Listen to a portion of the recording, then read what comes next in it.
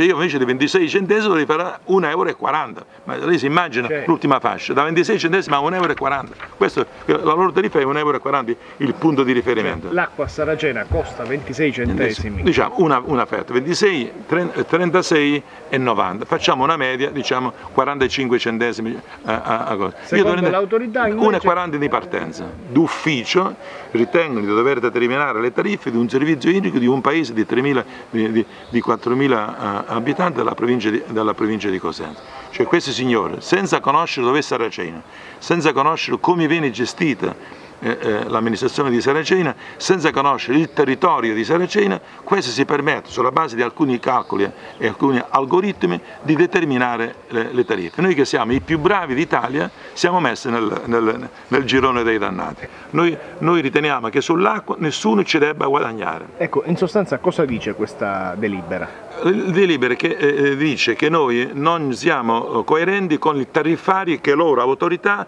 hanno individuato perché questa è una- è un'autorità che adotta delle delibere. Il governo italiano invece di premiare un piccolo comune che gestisce bene il ciclo delle acque, si, eh, eh, si è fatto carico di tutti e quattro momen- momenti, facendo degli investimenti nel corso dei decenni ed ha realizzato un modello che dovrebbe essere esportato negli altri eh, eh, 8.000 comuni italiani perché noi riusciamo a portare l'acqua pulita in tutte le case, la facciamo arrivare puntualmente, quindi è efficace ed efficiente, noi facciamo pagare il giusto, è, è efficiente, efficace ed economico, come dice la legge Galli, perché noi facciamo pagare quelli che sono i costi che l'ente affronta, compresi gli investimenti. In sostanza voi venite puniti perché fate pagare poco Troppo poco. Diciamo, noi, noi dicono che non è nel rispetto del tariffario. Facendo un esempio, oggi una famiglia No, dico la mia, la mia famiglia, siamo quattro persone, io pago 170 euro al- al- all'anno del sistema idrico, compresa la fognatura e la e depurazione. rispettando le tariffe imposte dall'autorità invece Dovremmo arrivare oltre a circa 600 euro. Questo significa che il Ministero dello,